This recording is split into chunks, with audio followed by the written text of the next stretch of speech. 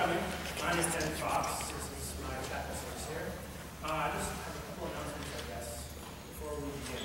Um, the first one is kind of involves participation. You are invited to uh, use this as a chance to kind of meditate.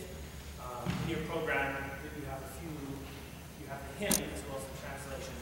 Um, and then you'll be able to follow along with the different songs uh, as they're chanted uh, in the red book still be chatted in Latin, so it might be a little confusing. Um, but and then the Gloria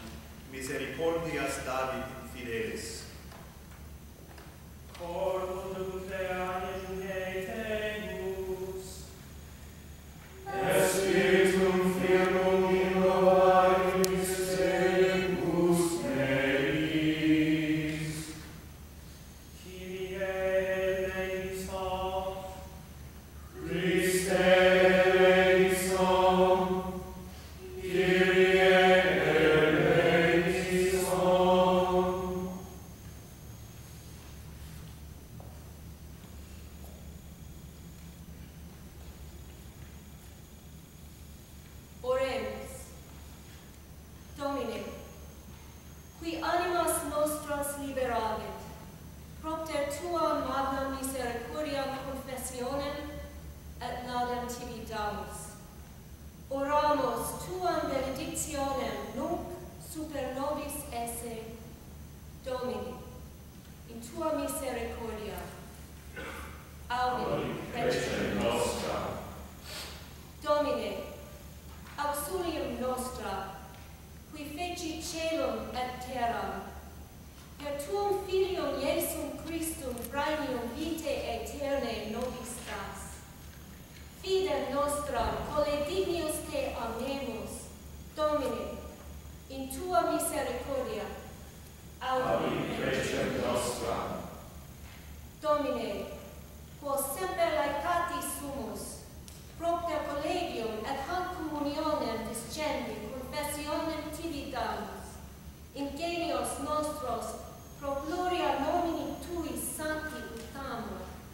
Domine, in tua misericordia, audi precem nostra.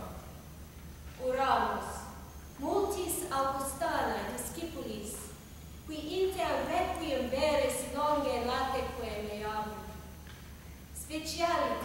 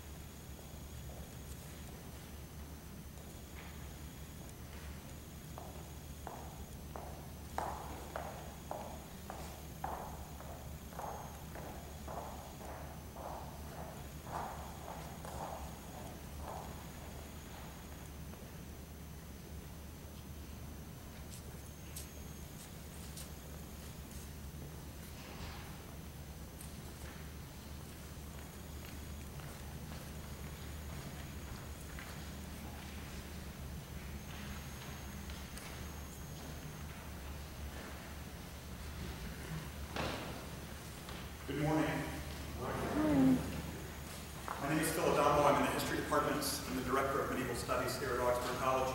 It's been my great pleasure to have Andrew Fox as my student for the last four years. And Andrew, you need to come up here, please. This has been a very unusual chapel talk, and I, I don't know what you thought about it, but I think Andrew has put together something that really exemplifies everything that he's experienced in his four years at Augsburg.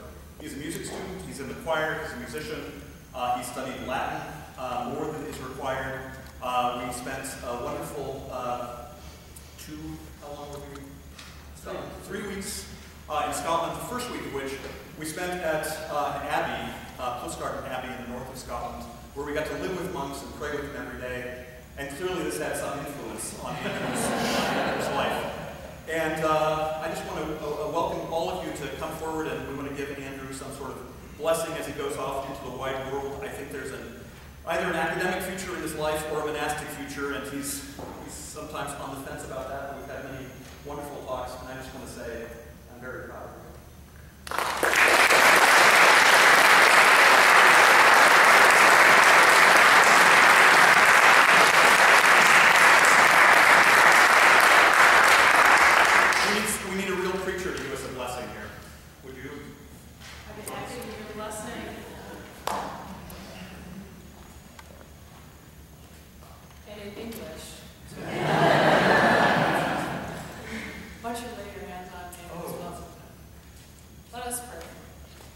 Gracious God, we give you thanks for the many gifts that you have blessed Andrew with, the gift of musicianship, the love for Latin, his deep faith in Christ,